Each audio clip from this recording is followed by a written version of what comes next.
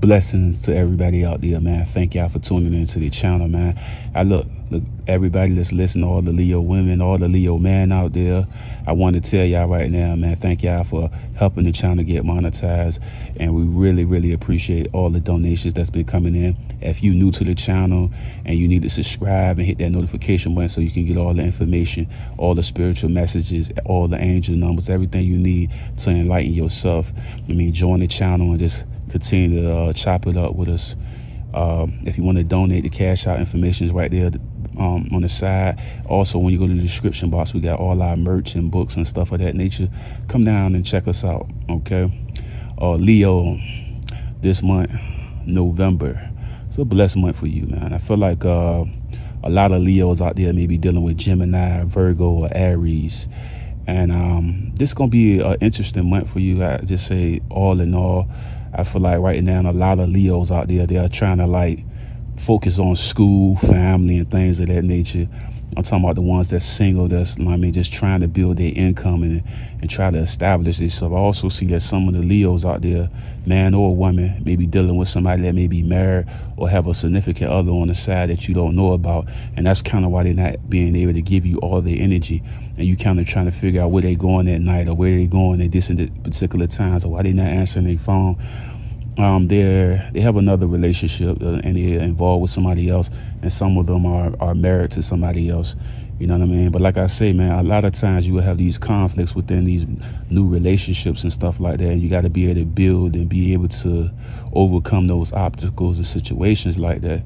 But like I say, man, um, I'm picking up the Gemini, Virgo, and Aries energy for the Leo this month. You know what I mean? I feel like uh, right now a lot of the Leos are trying to stay focused on their path because they know relationships come with a lot of responsibility and a lot of effort. And it sometimes can, it can be difficult for a person to be able to give their all to something like that.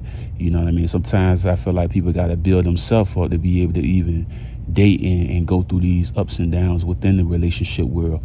But like I said before, man, um, I don't know the name of the person, but I, I just feel like uh, just just just be aware of your surroundings and understand and, and pay attention to the signs the red flags and stuff like that you know what I mean? Don't ignore them just because you're having a great conversation or something is going okay at that moment. Because like I tell you, once that honeymoon stage is over, then you begin to deal with the real part of the individual. So you got to take care of yourself by paying attention to the signs at hand. And right now, I'm telling you, one of you, um, either man or woman is dealing with somebody that has somebody else on the side, and you need to be really, really paying attention to the person that you're dating or, or having relationships with if you're trying to build something you know what i mean? So like i said it's bigger and greater opportunities out here. I'm seeing positive energy with the gemini virgo and aries right now. And if you're looking for new love it's definitely coming in. It's gonna be so many blessings within that. Like i said the energy i'm seeing is gemini virgo aries.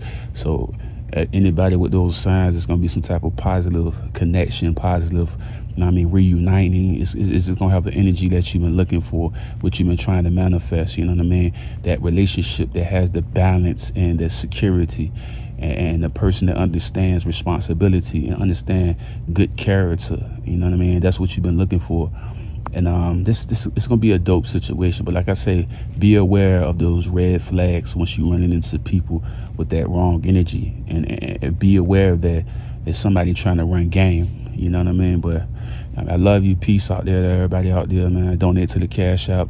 Uh, cash tags, uh, all the information is right there below. Also, come on, shop with us at the store for the merch. And I thank y'all for tuning in. Blessings to everybody out there, man. Much love.